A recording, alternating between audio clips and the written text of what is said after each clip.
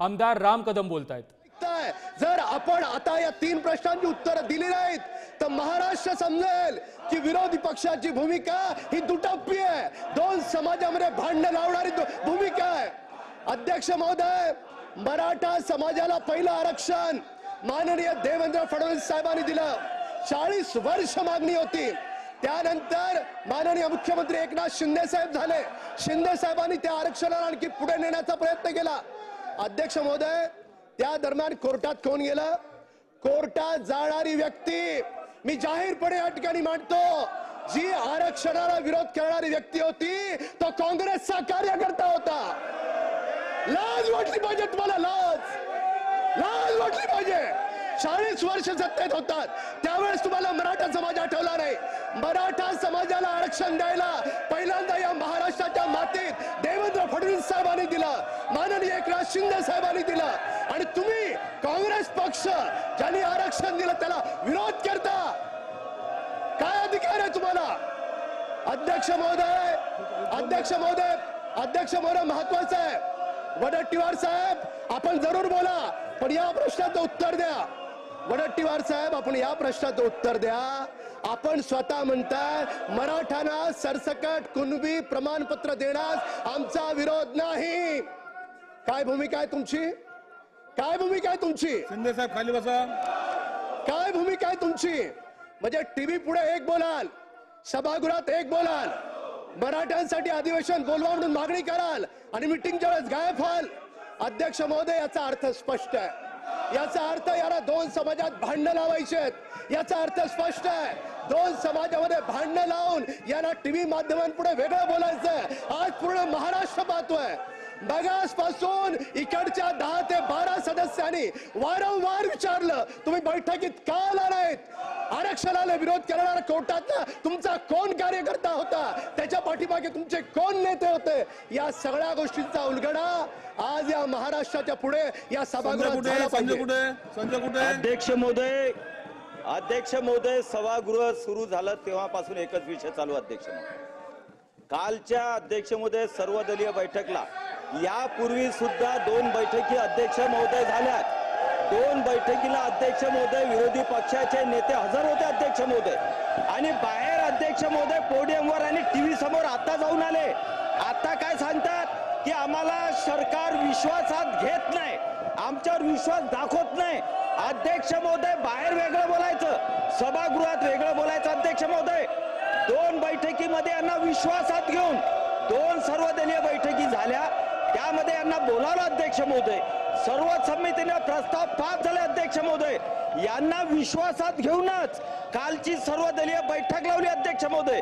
आणि बाहेर जाऊन टीव्ही समोर सांगतात की आम्हाला शासन विश्वासात घेत नाही. अध्यक्ष महोदय यांना विश्वासात घेतल्यानंतर शेवटच्या क्षणाला दांडी मारतात अध्यक्ष महोदय.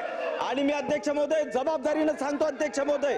या महाराष्ट्रामध्ये अध्यक्ष महोदय खऱ्या अर्थानं जातीवाद हा जातीवाद जो अध्यक्ष महोदय खऱ्या अर्थाने महाराष्ट्रामध्ये एकोणीसशे नव्याण्णव साली अध्यक्ष महोदय सुरू झाला अध्यक्ष महोदय. आणि तो जातीवाद कोणी पसरवला अध्यक्ष महोदय? एक स्टेटमेंट जर आपल्याला आठवत असेल अध्यक्ष महोदय ते सर्वोच्च नेत्यांनी एक म्हटलेलं अध्यक्ष महोदय की आता पेशव्यांना सुद्धा आता पेशव्यांना सुद्धा आता राजांना सुद्धा पेशव्यांची मदत घ्यावी लागते. सभागृहामध्ये येण्यासाठी हे स्टेटमेंट कोणाचं आहे? महाराष्ट्रात अध्यक्ष महोदय. जातीवाद तिथून निर्माण झाला अध्यक्ष महोदय. माननीय देवेंद्रजी फडणवीस चौदा साली जेव्हा या महाराष्ट्राचे मुख्यमंत्री झाले तेव्हापासून अध्यक्ष महोदय या जातीवादाला पेरण्याचं काम या महाराष्ट्रात कोण करतं अध्यक्ष महोदय? हे सुद्धा मराठा समाजाने आणि ओबीसी समाजाने समजून घ्यावं. जो माणूस तो या महाराष्ट्राचा मुख्यमंत्री. ते मग देवेंद्रजी असोत का मुख्यमंत्री एकनाथ शिंदे असोत? जे प्रामाणिकतेने अध्यक्ष महोदय छाती ठोकपणे सांगतात की मराठ्यांना आम्ही आरक्षण देणार.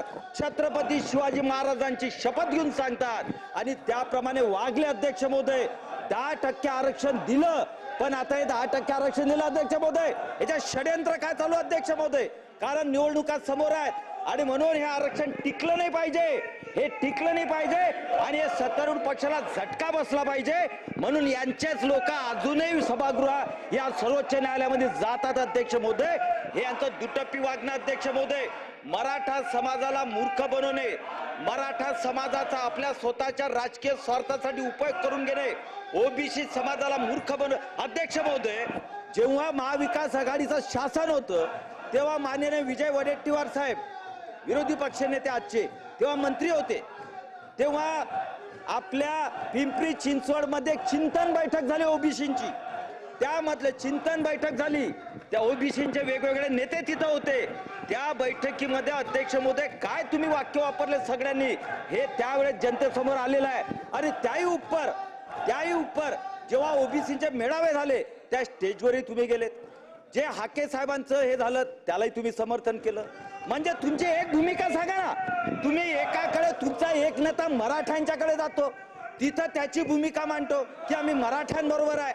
दुसरा नेता ओबीसीच्या याच्यात जातो. तिथं म्हणतो आम्ही ओबीसी सोबत आहे. अरे एक भूमिका मांडा. दोन्ही समाजाला झुलवत ठेवू नका. हे दोन्ही समाज आपलेच आहेत. हे दोन्ही भाऊ आपले आहेत. हा संवेदनशील मुक्तेनं विषय करायचा आहे. हा महाराष्ट्राचा विषय आहे. आणि सगळे पक्ष मग तो कोणताही महाराष्ट्रातला पक्ष असो जो रजिस्टर्ड पक्ष आहे त्यांनी आपली भूमिका या महाराष्ट्राच्या चांगल्यासाठी भल्यासाठी स्पष्ट करावी अध्यक्ष महोदय.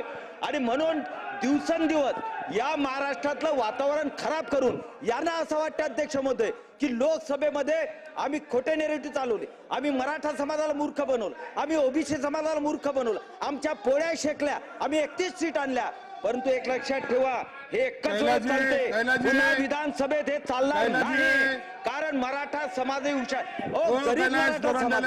तुम्ही एक लक्षात घ्या की ज्या ज्या लोकांनी मराठा समाजाच्या आरक्षणाला विरोध केला वर्षानुवर्षापासून चाळीस पण का केला अध्यक्ष महोदय कारण काही लिमिटेड मराठा समाजाचे लोक आहेत सभागृहात असतात संस्था आहेत शैक्षणिक संस्था यांना असं वाटतं की मराठा समाज म्हणजे आम्हीच आहे अहो पण मराठा समाज तो खिचपत गणपत पडलेला आहे.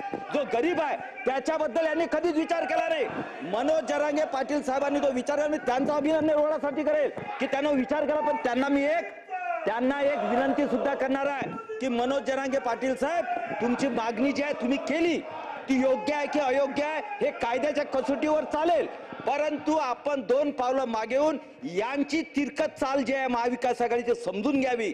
आणि या तिन्ही पक्षांच्या प्रदेश अध्यक्षांना किंवा नेत्यांना तुम्ही बोलवावं त्यांना विचारावं की ओबीसी मध्ये मराठ्याचा समावेश त्यांना तुमचा विरोध आहे का समर्थन आहे? हे मनोज जरांगे पाटील साहेबांनी विचारावं. यांचा खरा चेहरा जो आहे तो ओबीसी आणि मराठ्यांसमोर आला पाहिजे. अध्यक्ष महोदय म्हणून मराठ मनोज जरांगे पाटील साहेबांना माझी विनंती आहे. की यांच्या बैठकामध्ये येऊ नका. तुम्ही ते न येणारे माणसात. परंतु हे ज्याप्रमाणे षडयंत्र षड्यंत्र महाराष्ट्रामध्ये करतात ओबीसी समाजाने मराठामध्ये भांडणं लावण्याचे त्यामध्ये तुम्ही त्या ट्रॅपमध्ये अटकू नका. तुम्ही समाजाचे जर खरे रक्षण करते असाल तर दोन पावलं पुढ्या दोन पावलं माग्या. सामंजस्याने एक दुसऱ्याचं भूमिका मांडा. सरकारसोबत चर्चा करा. विरोधी पक्षाच्या भूमिका समजून घ्या. त्यांच्यासोबत चर्चा करा. आणि तेरा तारखेच्या पहिले यांनी यांची भूमिका सभागृहात बाहेर जाऊन अध्यक्षमध्ये वेगळंच बोलतात. हे वेगळंच बोलतात बाहेर जाऊन टीव्हीवर. आणि सभागृहामध्ये वेगळंच बोलतात. मराठा आंदोलनामध्ये वेगळंच बोलतात. ओबीसी आंदोलन वेगळंच बोलतात. यांचं कुठे अध्यक्ष मोदय आणि यांचे सर्वोच्च नेते अध्यक्ष मोदय या सर्वोच्च नेत्यांचे निर्देश आहे की हे वातावरण पेट्ट राहिलं पाहिजे महाराष्ट्रात. आणि महाराष्ट्रात हे वातावरण पेट्ट राहिलं तर महाविकास आघाडीला सत्ते देण्याचे दिवस आहेत. अहो सत्तेसाठी तुम्ही लोकांचे जीव घेणार. सत्तेसाठी आत्महत्या करतात मराठा समाज.